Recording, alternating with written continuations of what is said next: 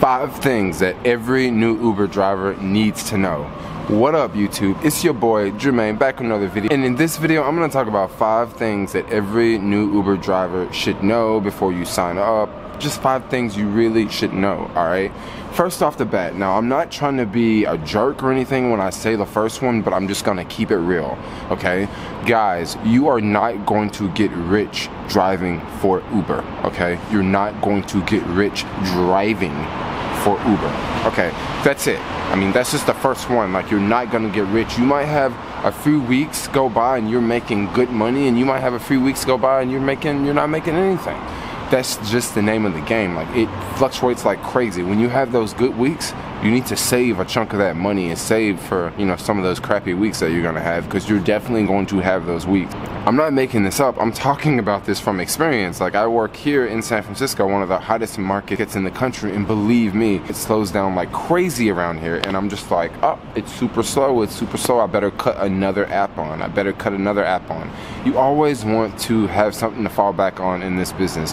And not only do you want something to fall back on, you kind of want to always keep your eyes open for that next opportunity. You always want to keep your ears open for that next opportunity because that's one good thing about being an entrepreneur. That's one good thing about being an Uber driver. You're not on lockdown. If you hear of something new that's popping up, you got the freedom and the flexibility to jump over there and try it, unlike someone who is working a 9 to 5 when they have to be there at 9 to 5. You, the Uber driver, on the other hand, you can take off for a couple hours and try something out.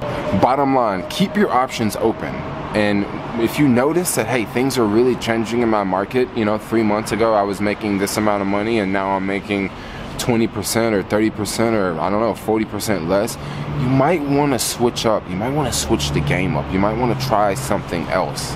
My second piece of advice for you guys have some sort of plan, okay? Have some sort of plan. Just because you have this awesome schedule that's wide open does not mean that you can just chill and work whenever you want.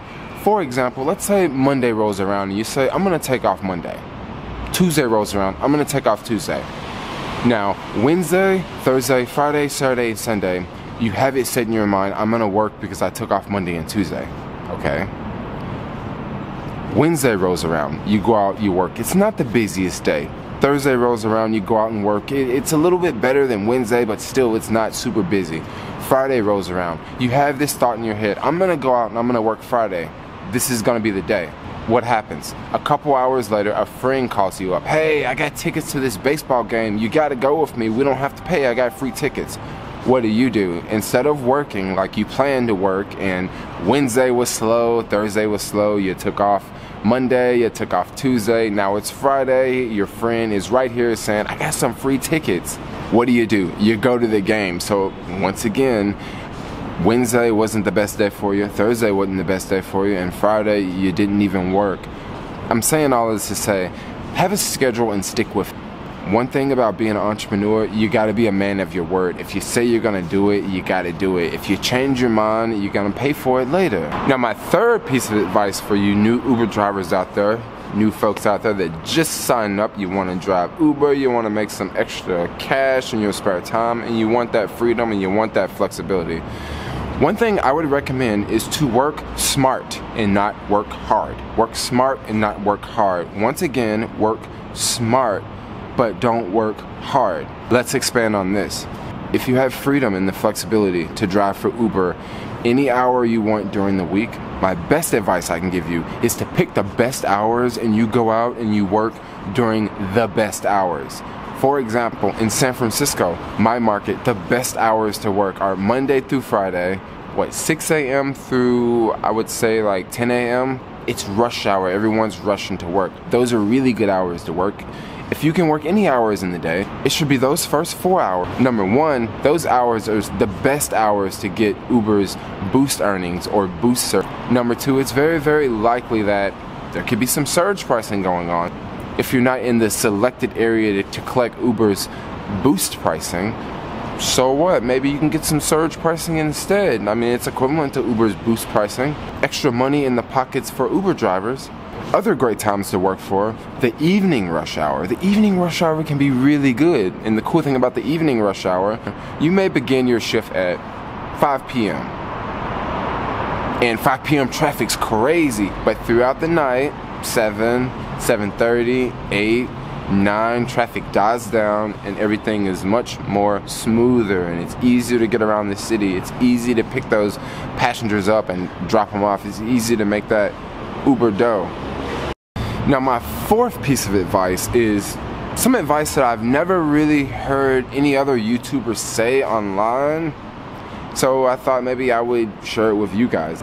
Now in my market, San Francisco, I've worked in San Francisco for about three years. One thing I've discovered, holiday weekends and holidays are typically not the best days to work. Now that's here in my market. Your market could be completely different. Your market on a holiday weekend or a holiday, it could be much more busier than it would be in my market. But I know on holidays such as Christmas and even New Year's Eve, Halloween, there's so much hype out there and there's so many drivers on the road that it it's kind of like a slow night and so many people go out and drive because they think it's going to be a really really busy night. Now definitely the fourth piece of advice i've given you guys is really going to vary depending on where you live. For a lot of people that drive uber in my market i've heard the same thing like the holidays just they pretty much suck and any special events in the town like parades and stuff like that it's usually like not the best time to drive. Wow guys we are just flying through this list. Now my final piece of advice for you guys advice tip number five is guys play it smart. Play it smart. Play it smart.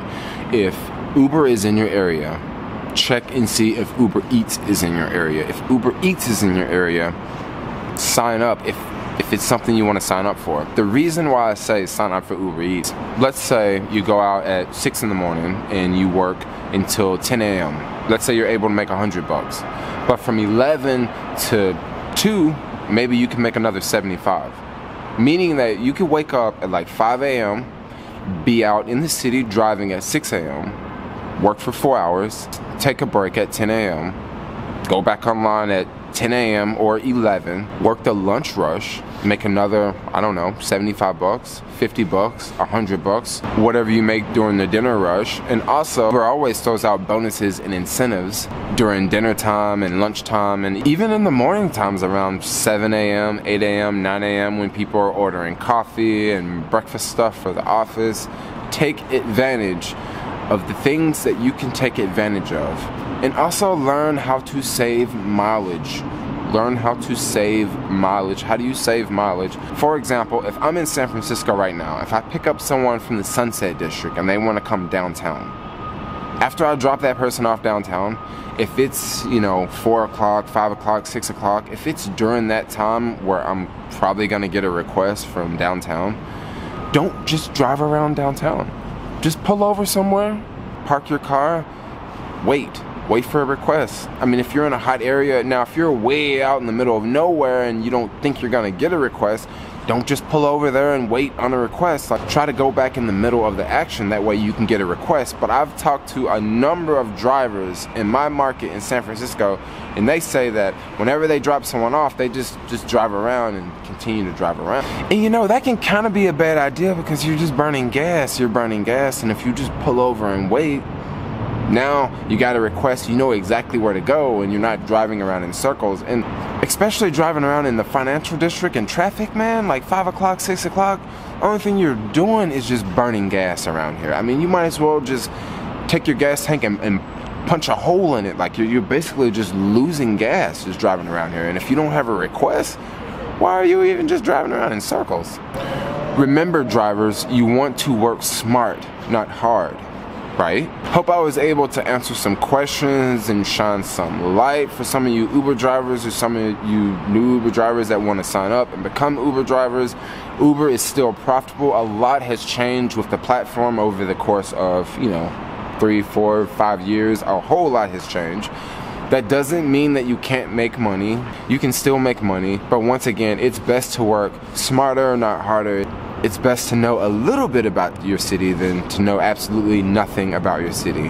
However, you can still go out and drive in a city that you've never even been to because we have this thing nowadays called global positioning systems, better known as GPS So you can just drive anywhere without knowing where you're going. But anyway, I think I'm gonna wrap this video up. Thanks a lot for watching. Give me a thumbs up if you like this video. If you wanna see more videos like this from me, hit that subscribe button right down below.